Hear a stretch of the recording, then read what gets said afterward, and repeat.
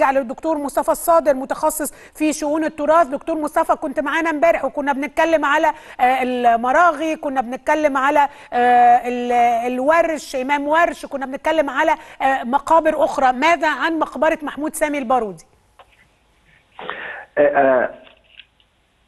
هي المشكلة مقبرة محمود سامي البارودي ما حدش عارف يعني ما فيش مخطط اتقال إيه اللي هيحصل. اتحط عليها علامة اللي هي الخضراء دي اللي عليها النقطة دي.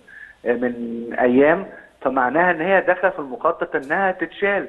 آه، وهو اللي حصل إن في بعض المقابر أو أصحاب المقابر اتقدموا للجنة آه، التراث فاتسجلوا آه، إن هم أثر آه، ذات قيمة تراثية. فدول لحد دلوقتي يعني موقفهم مش باين. مش من ضمنهم كان محمود سامي البارودي لكن يعني محمود سامي البارودي يعني غير إن هو رب السيف والقلم هو كان آه، وزير حربية وكان رئيس وزراء. وكان مع إنه أصلا شركسي شركسي يعني شارك مع الثورة العربية يعني شارك مع الضباط المصريين ضد ال- الشراكسه يعني حاجات كتيرة قوي تخلينا إن إحنا يعني يعني نفكر كتير قوي إزاي هننقل رفات أو هن هن- ده كمان غير التر... ال- التركيبات اللي موجودة جوه. شايفه حضرتك التركيبة اللي موجودة دي؟ إيه؟ دي تركيبة أصلا خشب.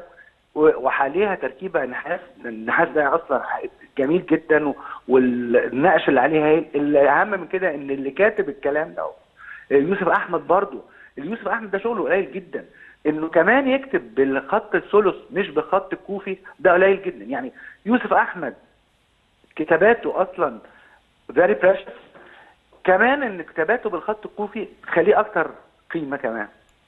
ومن الواضح ان النقش اللي مكتوب هي آه، أشعار محمود سامي البارودي هو جزء منها هو يعني. هو مكتوب آه، بعض الأشعار ومكتوب أصلا هو إن هو من سلالة آه، نوروز الاتابكي يعني مكتوب إن هو اتولد إيه وإن هو في الآخر رب السيف والقلم الخط في منتهى الجمال طبعاً، نفس طبعاً. التركيبة في منتهى الجمال انسى التركيبه ال- ال- النحاس دي شوف التركيبة الخشب برضه في منتهى الجمال. رائعة، يعني هو رائعة. جمال جوه جمال. يعني, يعني رائعة ونادرة. يعني أنا مش مصدقة أنه يمكن لبلد أن يعني تهدم هذا من أجل شارع. يعني مش قادرة أيوة، مصدق ده. كتير قوي. طب حضرتك تصدقي إن هم هيشيلوا مقبرة آه، آه، آه، أحمد باشا شفيق المؤرخ أحمد باشا شفيق اللي هو كتب حوالات السياسة المصرية كتب مذكراتي في نص القرن اللي قرب للتاريخ بتاع عباس حلمي الثاني اللي أصلا مقبرته اللي كاتبها الشيخ عبد العزيز الرفاعي عبد العزيز الرفاعي ده برضه خطاط ملوش ما عن- ما عندوش قليل جدا ما تلاقي كتاباته.